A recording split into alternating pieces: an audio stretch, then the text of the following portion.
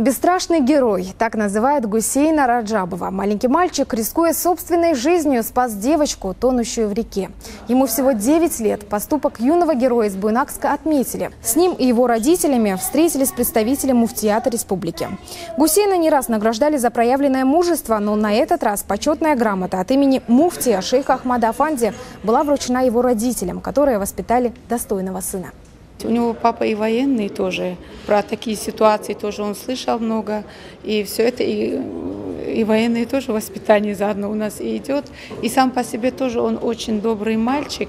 И он готов вот, э, заступиться за ребенка. В школе даже за одноклассника может заступиться, если кто-то обидит его. Кто-то и весь э, домой придет весь э, оборванный, порванный, с кем-то подерется за кого-то. Он всегда такой у нас альтруист. Не, не, нельзя играться на речке, а то, ты, а то вы можете покалечить себя или других. А ты решил, ну, э, после этого заняться плаванием, не думал об этом?